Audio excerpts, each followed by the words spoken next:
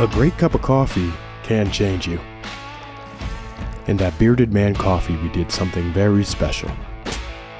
We roasted our beans at 6,000 feet above sea level, in micro batches to ensure a superior brew. As for the beards, they're optional. Bearded Man Coffee, fuel to explore.